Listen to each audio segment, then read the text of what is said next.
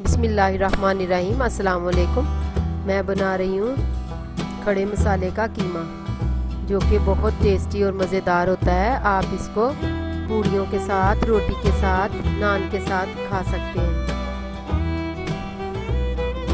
मैं इसकी रेसिपी आपके साथ शेयर करती हूँ।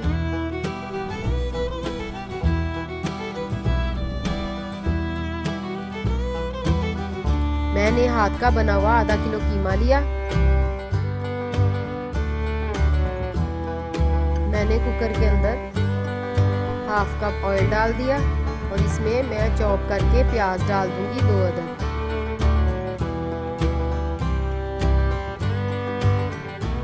हम प्याज को हल्का सा ब्राउन कर लेंगे। साबुत लाल मिर्च इसके अंदर मैं शामिल करूँगी तकरीबन आठ दस।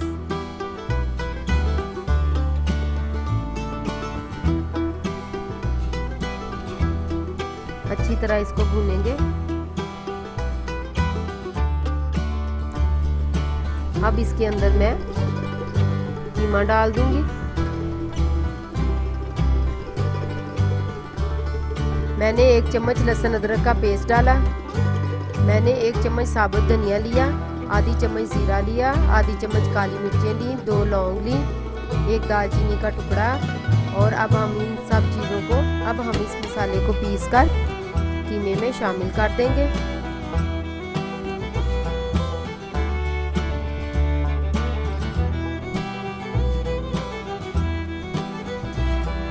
अब इसको हम अच्छी तरह से भून लेंगे।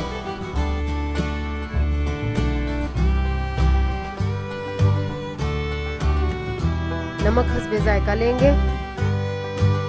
हल्दी आधा चम्मच।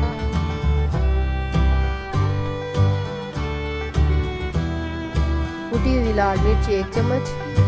अब हम ये चीज़ें कीमे में डालकर अच्छी तरह भूनेंगे। अब मैं एक गिलास पानी डाल के कुकर को 10 मिनट के लिए बंद करूँगी। 10 मिनट के बाद मैंने कुकर को खोल लिया है और इसमें एक प्याली दही डाल के इसको अच्छी तरह से भून के बाउल में निकाल कर सर्व करेंगे। अगर आपको मेरी रेसिपी अच्छी लगी है तो आप मेरे चैनल को लाइक शेयर एंड सब्सक्राइब करें।